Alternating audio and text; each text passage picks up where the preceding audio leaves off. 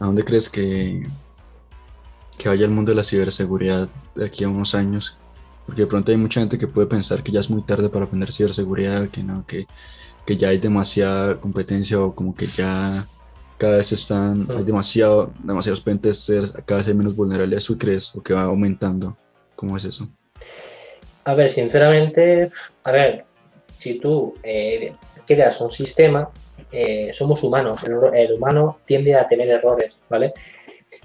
Siempre va a haber errores, eh, siempre, ¿vale? Siempre va a haber empresas de seguridad en un sistema, eso hay que tenerlo clarísimo, porque tú puedes acceder con una vulnerabilidad, puedes acceder a esa vulnerabilidad de muchísimas formas. Entonces, yo pienso que el día de mañana sí que va a, va a persiguiendo vulnerabilidades, ¿vale?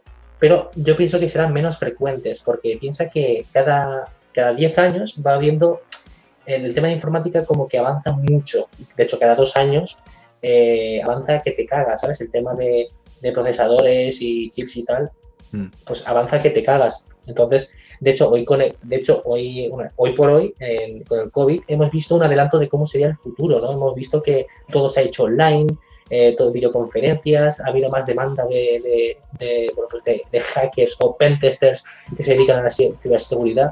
Sí que es verdad que hemos visto como un adelanto ¿no? de que necesitamos seguridad para las empresas, pero también hemos visto un lado negativo, que se, se han como que aprovechado esta situación enviando ransomware y tal. De hecho, el ransomware no se puede, bueno, se puede evitar, depende de la copia de seguridad que tengas en tu servidor, ¿vale?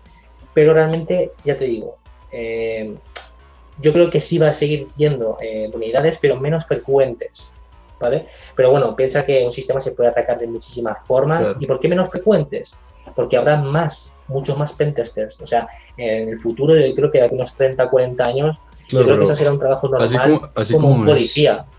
claro, pero así como es que aumenta mucho eh, la demanda de pentesters también, pues yo creo que debes ver que es como la que se, va, se, van sofisticando los tipos de ataques. Y nosotros vemos hace, no sé, 20 años, pues los ataques de hacking ya eran, no, no, no eran tan, tan complejos realmente.